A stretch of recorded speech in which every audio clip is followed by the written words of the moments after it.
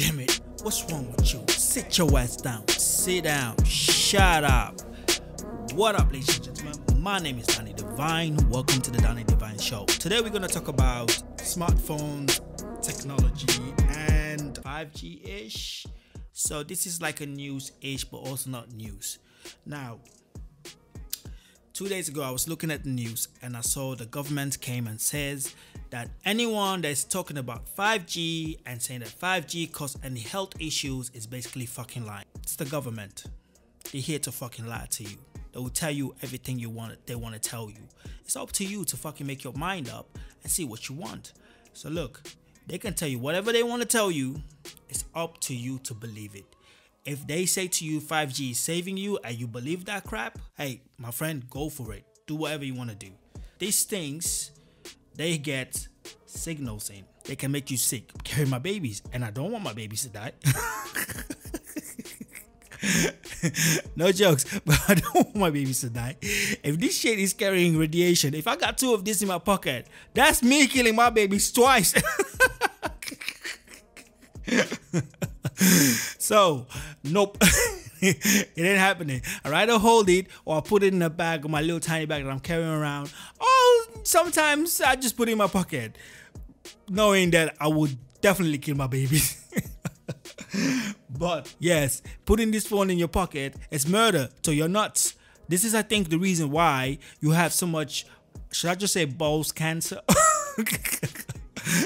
this is the reason why you have a lot of uh, men having cancer down there. Anyway, I think maybe it's because we put in our phones too much too close, this and that. And I think most of the time when women put their phones a lot by the bra, I'm just saying, I'm just, I'm just guessing. I'm not saying that's true. I don't have any scientific uh, explanation about this. I'm just saying maybe, maybe that could be the case. Maybe. So what I'm going to do, we're going to watch TED today, and this one is called Wireless Wake Up Call and the person that's speaking today his name is jeromy johnson you can watch him on ted i'll also put the link down there so you can check the link and then he's going to explain to you guys what's happening with wireless technology and all the stuff the information with a little bit of my own sense of spin onto it but let's go and let's do this if they have a wireless smart meter on their home. Okay. And who has their smartphone in their pocket right now? Who's read the fine print in your owner's manual that says that the smartphone should never be within about an inch of the body?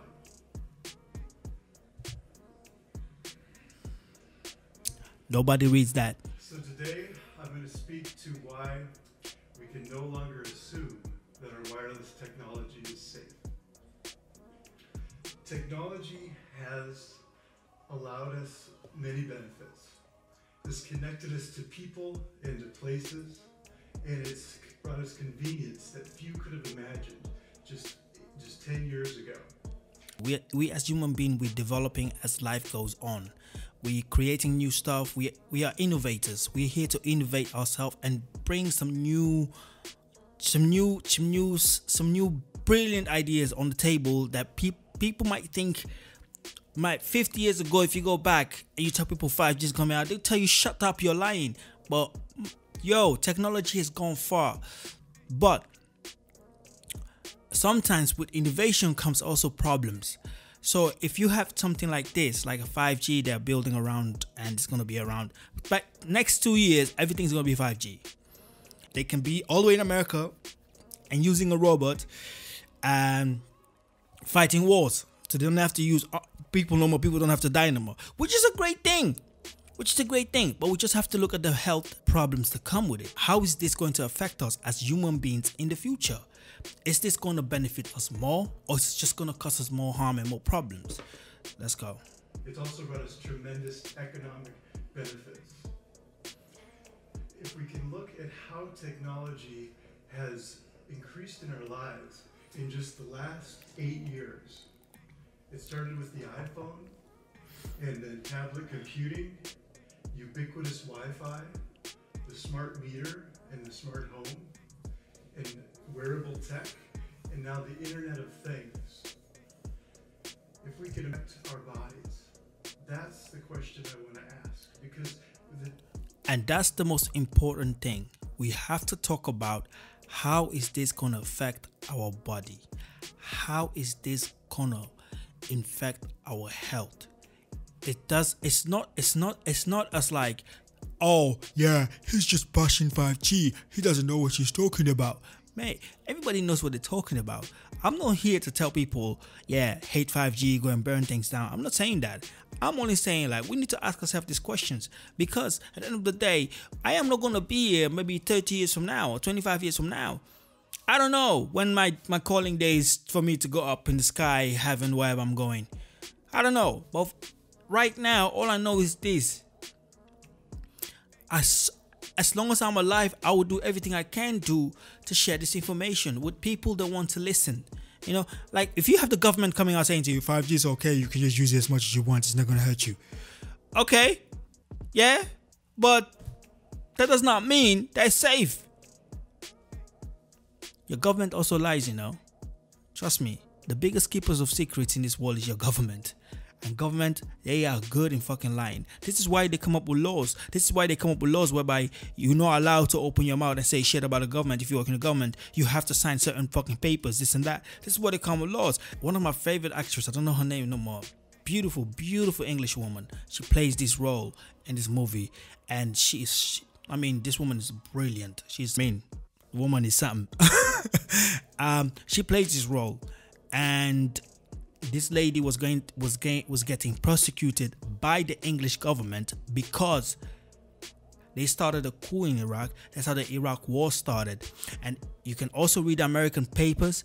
It's all about it. When this shit came out, Tony Blair had to fucking resign because if they didn't drop the case for the woman, you know what was gonna happen? Then the public will find that the government actually lied about a war that started in the country that they're fighting that it shouldn't even be there using the English taxpayers' money, using the English army to go and fight a war that England has nothing to do with. And it was all about fucking oil. And then they tell you that the government is always being honest with you. Listen, your government doesn't have your fucking best will in their fucking mind. I'm telling you this. If you think I'm lying, watch shit that's going on right now with this corona do you really think they have your fucking best will in their mind no because if they did if they did this is what would happen if the government had your best will in their mind, they would say, listen, we got Corona. We're to give everybody 80% pay. Then no one have to pay their rent.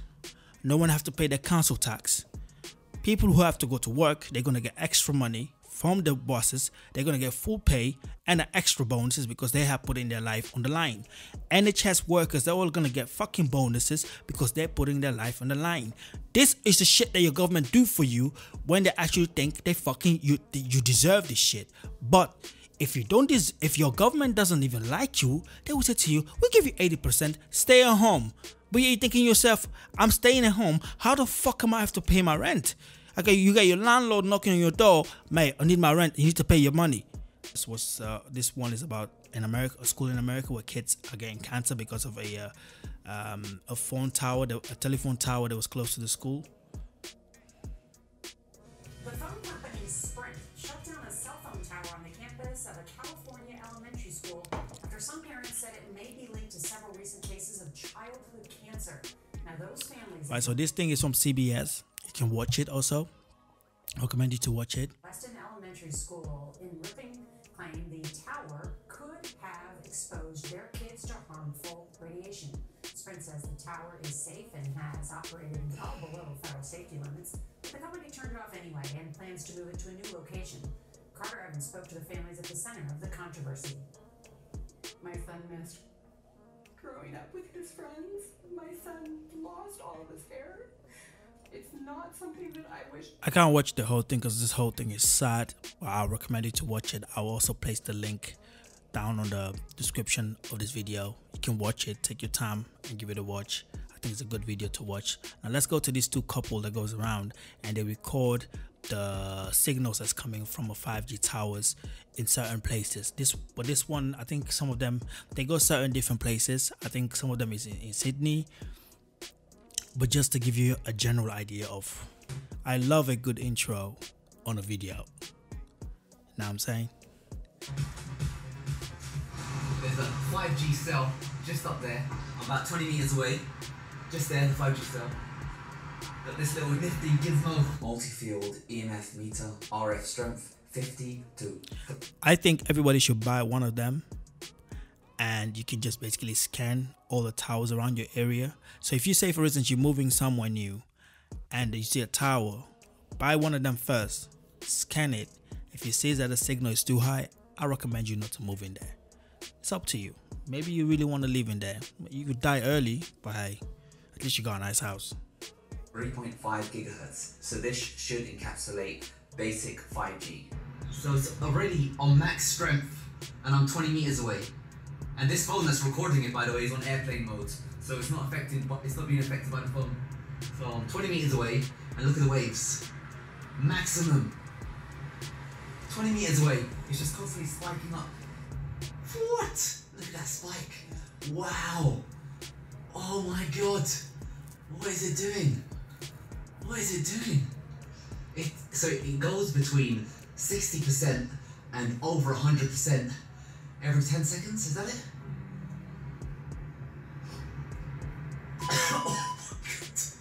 oh my god. Oh You see the thing start beeping red and the tower is far away. my god. I'm, I'm like, what's that? 20 meters? So like I say, I'm gonna put this also link down. You can also check it if you want. You know, it's all up to you what you want to do. I'm just here to inform you that there are proof out there that this thing, this 5G thing, is not 100% solid as the government is saying. Look, the government can tell you whatever they want to tell you, but don't trust the man. Okay? I mean, there's two type of different of there's two type of criminals in this world. There's the one who think they're gangsters who have like trousers down, talking all shit. Nah, I'm trying to man shit, man. I'm fine, jump. You have them. Then you have the gangsters, gangsters, the one that don't say shit, the one that have the suit on, looking all nice, got a fucking suitcase, uh, uh, uh, a bag or, or whatever they're carrying around. They got, and they're all nice to you, and they're talking to you with a beautiful accent, but they're the biggest criminals ever. And it's the same thing like your government. Your government can be nice, can be fucking good to you, but yeah, in the same time, every time you turn around, your government is doing this to you slapping the shit out of you because they will never tell you the truth. It doesn't matter. They will never tell you the truth. The only reason why all this 5G and everything wants to go up, you know why? Because they they are racing against China. They are racing against China. They don't want China to have the next new fucking robot that don't that don't go like I am from the future. No, that goes like fuck your mama. You don't know what I'm talking about. Da, da, da, da, da, da, da. I'm a robot. I was made in China. Yeah, Chinese empire. What what want? What what what what you want to do? They don't want that shit. Nah, they want they want this crazy shit. They want to beat China on the technology war they're having. This is the reason why. So take your time, We research this thing, man. I'm like, I'm not here to chat to you and tell you, oh yeah, that, that, that, that. It's all up to you. I don't even want you to fucking press like or comment on this shit. I don't care what you do. If you want to like it, like. If you don't want to like it, don't like. It. If you want to comment, just comment. Do whatever you want to do. Whatever makes you feel good. But I do thank you though for taking your time and come today and watch me. Yes, I'm representing Africa today. All Africa. Nah, I mean, nah, I mean, and I'm looking good. anyway, my name is Danny Divine. You guys have a nice day, and I'll see you guys on the next one.